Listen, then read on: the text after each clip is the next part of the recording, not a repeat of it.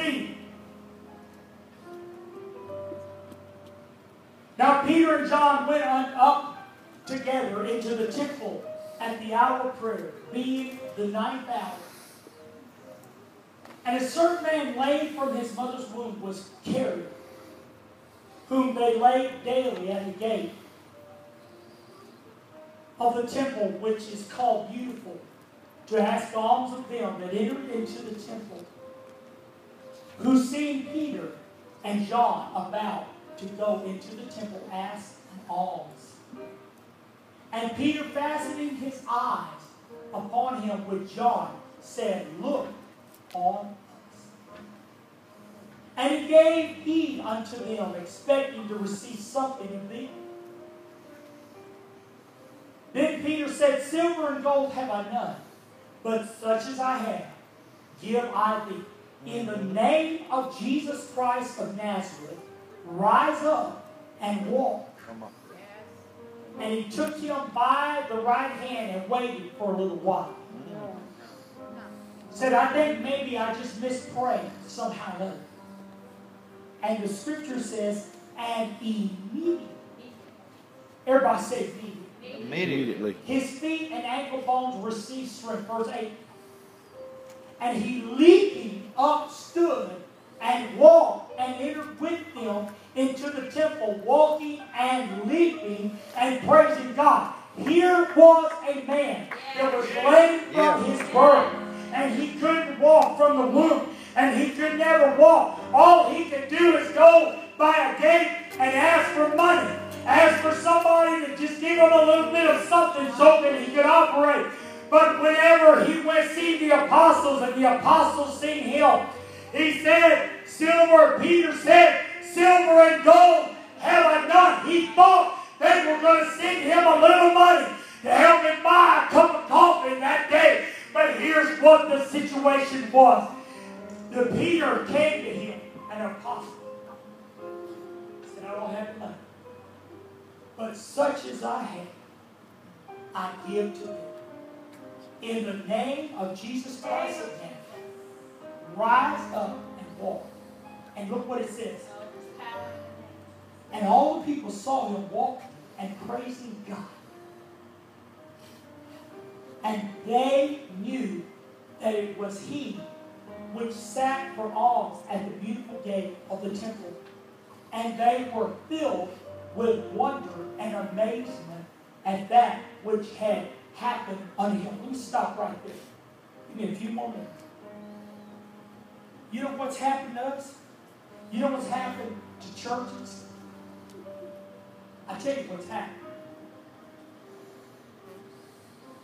They, they started moving God out of the picture and what the Lord could do.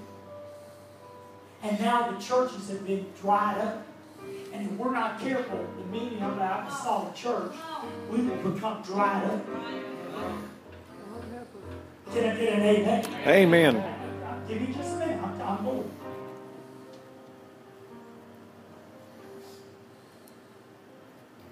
And the lame man which was healed held Peter and John.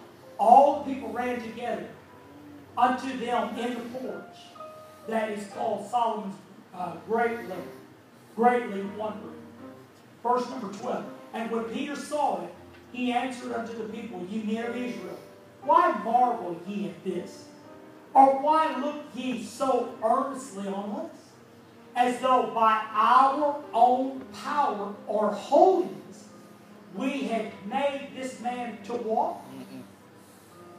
The God of Abraham and of Isaac and of Jacob, the God of our fathers, hath glorified his Son Jesus, whom ye delivered up and denied him in the presence of Pilate when he was determined to let him go. But ye denied the Holy One and the just, and desired a murderer to be granted unto you, and killed the Prince of Life, whom God had raised from the dead, whereof we are witnesses. Verse 65. And his name, through faith in his name, hath made this man strong, whom ye see and know. Yea, the faith which is by him hath given him this perfect soundness in the presence of you all. 1 Peter chapter 1, verse number, uh, chapter 2, verse 1 through 9. Here's one. Wherefore lay aside all malice and all guile and hypocrisies and envyings and all evil speaking. As newborn babes desire the sincere milk of the word, that ye may grow thereby. If so be ye have tasted that the Lord is gracious, to whom coming as unto a living stone, disallowed indeed of men, but chosen of God and precious. Ye also, as lively stones, are built up a spiritual house and holy priesthood to offer up spiritual sacrifices acceptable to God by Jesus Christ. Wherefore also it is contained in the Scripture, Behold, I lay in Zion a chief cornerstone, elect precious, and he that believeth on him shall not be confounded.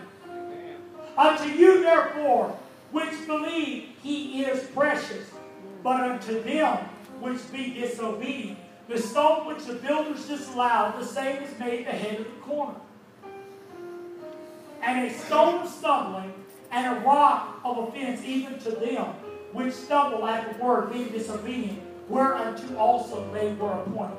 Now, I've got my Bible here, and I don't recommend that you do this. But I want to show you something. This precious cornerstone yes. is Jesus Christ. Yes.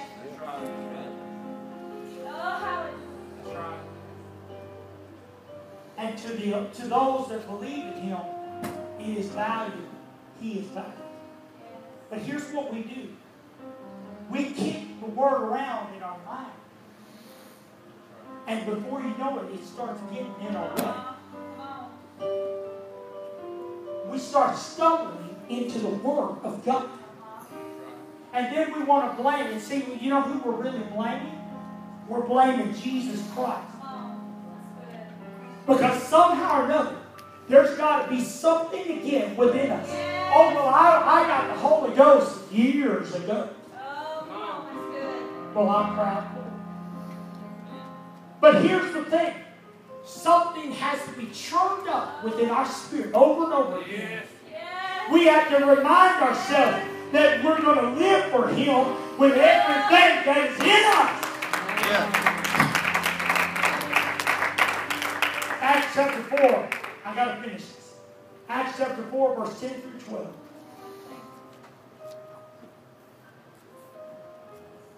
Known unto you and unto all the people of Israel that by the name of Jesus Christ of Nazareth, whom ye crucified, whom God raised from the dead, even by him doth this man stand here before you holy.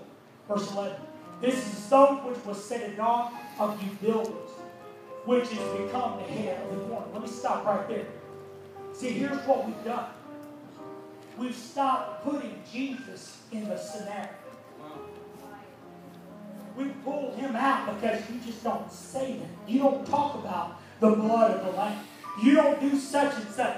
But you see what man has done. Man has become so engulfed in himself and herself that we forget where, what his name really means to us and what his name is supposed to be to us